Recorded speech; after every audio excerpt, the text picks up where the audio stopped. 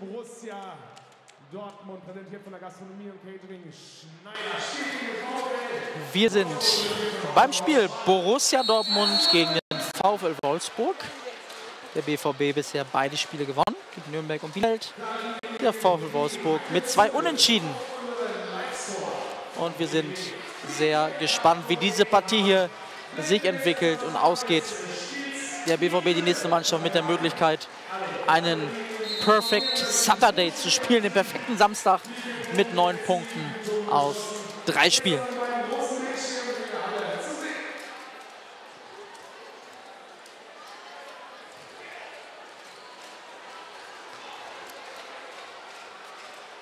Kufur sichert das da Dortmunds Nummer 15.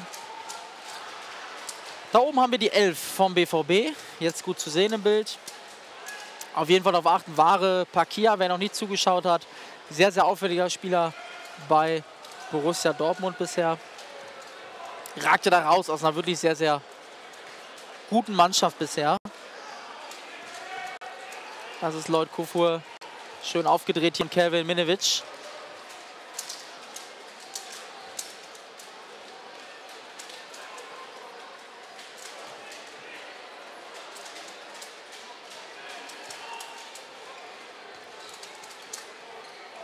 Keiner der beiden Mannschaften konnte den Freeway Cup bisher gewinnen. Beide standen jeweils einmal im Finale der VfL Wolfsburg, noch gar nicht so lange her, 2016.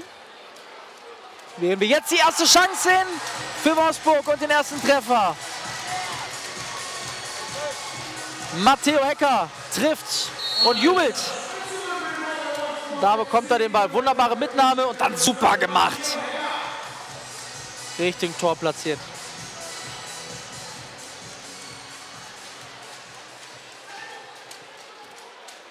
Hier haben wir nochmal die Information. freewaycup.de, den Stream, da sind sie drauf. Alle Infos zum Turnier natürlich, alle Mannschaftsvorstellungen und vor allen Dingen auch unseren Live-Score.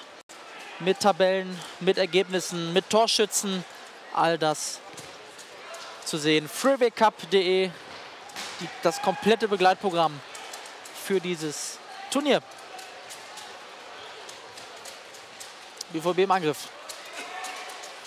Wolfsburg gewinnt den Ball, hat jetzt ein Überzahlspiel. Kann das, wenn sie es gut ausspielen, machen, aber Leon Klusmann im Tor der Borussen hat noch was dagegen. Hier wieder Ball. Lloyd Kufur zurück auf Klusmann. Da haben wir ein paar BVB-Fans eingefangen, die natürlich auch zahlreich in der Halle vertreten sind, denen das Ergebnis gerade nicht so schmeckt. Aber das alles kann sich ja noch, noch ändern. Und sie hatten ja bereits zweimal Grund zum Jubeln hier in der Kreissporthalle in Lübbecke. Klusmann, Ball geblockt.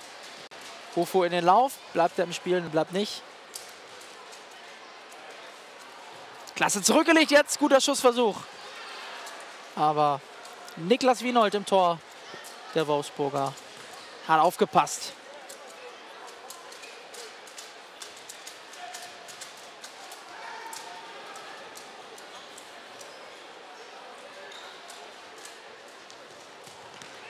Wieder gut behauptet da. Klasse gemacht. Und den Ball noch rübergelegt. Das war sensationell gut gespielt. Stehen noch ein paar Brötchen da, ja? Das ist einfach ein Spieler, Ware Pakia, der großen Spaß macht. Behauptet den Ball immer wieder auf engstem Raum, legt die Kugeln ab, setzt die Mitspieler ein.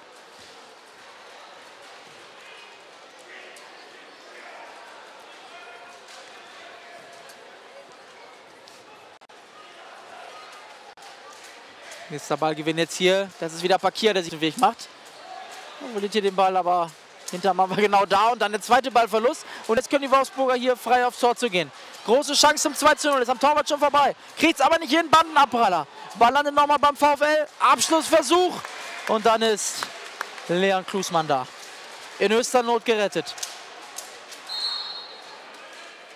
Gute Möglichkeiten da. Moritz Hindermann war das. Eben mit dem zweiten Abschluss für die Wolfsburger. Da jetzt erst. Ah, die vier Sekunden waren um, deswegen Ballbesitz für den BVB. Auch hier wieder viel Schwarz-Gelb in der Halle zu sehen. Publikum nach wie vor hier.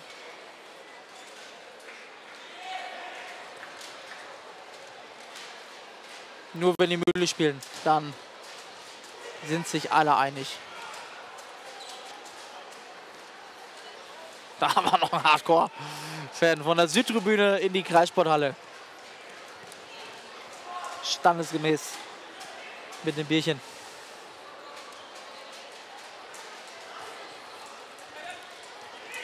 Oder wurde gehalten. Da darf man noch auf Foul entscheiden. Schiedsrichter hat das nicht getan. Ich glaube schon, dass da ordentlich Geschwindigkeit aus dem Spiel herausgenommen wurde. Torwart jetzt wieder fliegend eingesetzt, Lösmann, dass man die drei Spieler vorne hat. Machen das Spielfeld jetzt aber auch wieder sehr klein, weil der erste Spieler beim BVB schon sehr, sehr weit nach vorne geht. Dadurch sind die Punkte zwischen den zwei Aufbauern und den drei Spielern vorne. Das ist ein sehr kleiner Zwischenraum, wird sehr schmal und je schmaler das Feld, desto weniger Platz gibt es. Und dann ist es eben schwer, sich Chancen wirklich rauszustellen. Da geht es dann meistens über die Brechstange. Das war körperlich sehr stark gelöst von Wolfsburgs Verteidigern, um da eine Chance zu vereiteln.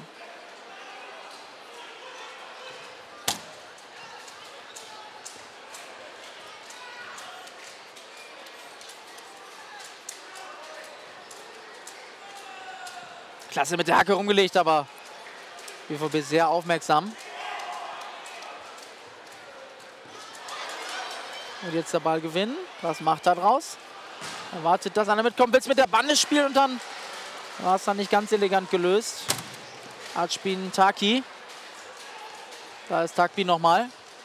Schließt jetzt ab und ist dann doch ein gutes Stück am Tor vorbei.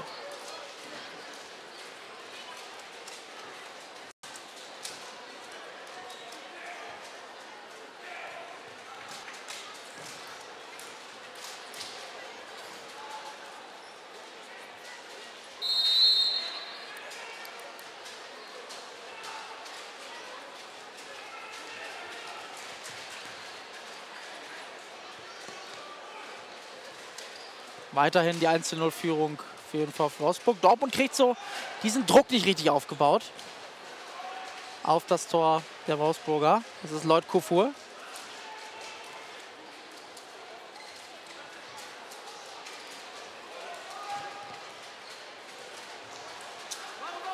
Gut gemacht. Das war faul verdächtig und da gibt es auch den Freistoß. Sie mal schauen, unten am Bildrand, in dem grauen Pulli, der Mann, der jetzt winkt, das bin ich. Und rechts daneben meine neue Co-Kommentatorin. Die hält sich hier schon gute zwei, drei Minuten neben mir auf. Und hat jetzt gehört, dass ich erwähnt habe und ist schnell weg. Nein, da ist sie wieder. Also auch hier mit Unterstützung am Mikro. Das war eine Riesenchance, das war klasse vereitelt von Niklas Wienold, der in den ersten beiden Spielen schon eine starke Leistung gezeigt hat, insbesondere beim Spiel gegen Mainz 05, gegen die Mühlis. Musste er noch nicht so ran.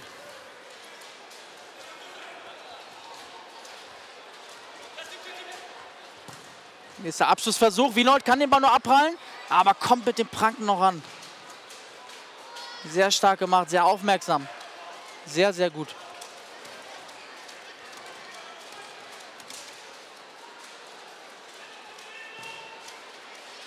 So, da müssen wir jetzt nochmal, ja, man sieht das ein bisschen hier vor mir, meine Co-Kommentatorin. Guckt mich mit großen Augen an, ist deswegen so nicht im Bild, aber zu zweit kommentiert sie es einfach einfacher. Deswegen, äh, ja, schöne Grüße hier nochmal von meinem Platz, vom Kommentatorenplatz. Geschichten, die nur der Freeway Cup schreibt.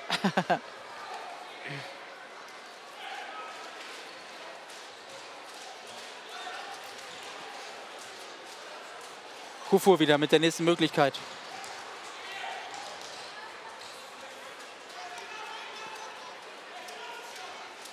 Ist drauf.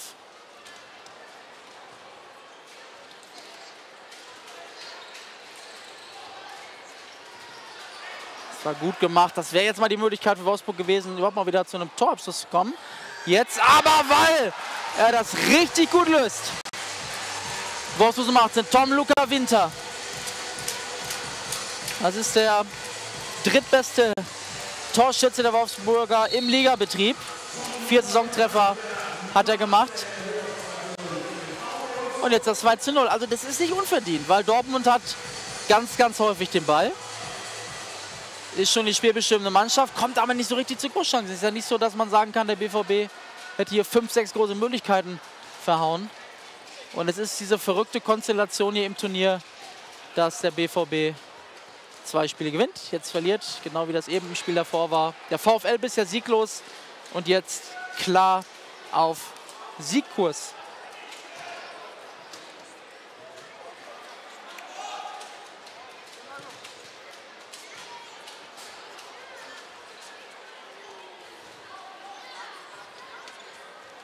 Und sie warten natürlich auf die Schlusssirene. Sie wollen den ersten Dreier. Und sie werden es verschmerzen können. Sind natürlich gefrustet. Die Jungs sind ehrgeizig. Wollen Spiele gewinnen. Und hatten sich das hier sicherlich etwas anders vorgestellt.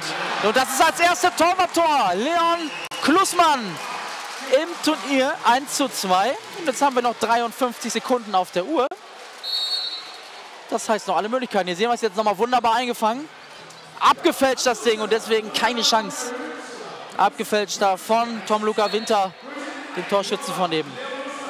Ballbesitz jetzt Wolfsburg. Wir haben noch 43 Sekunden offiziell auf der Uhr. Es ist ein Tor und Wolfsburg hätte sein drittes Unentschieden im dritten Spiel. Dafür müsste der BVB jetzt aber A den Ball bekommen und B noch treffen. Es trifft jemand, aber das ist nicht der BVB, sondern der von Wolfsburg. Und es ist wieder Tom Luca Winter. Zack, vollendet. 3-1 die Entscheidung. 27 Sekunden vor Ende. Wie gesagt, Uhr muss immer angehalten werden. Deswegen die leichte Differenz. Jetzt sind noch 20 Sekunden zu spielen. Ballbesitz nochmal VfL. 15 sind noch auf der Uhr.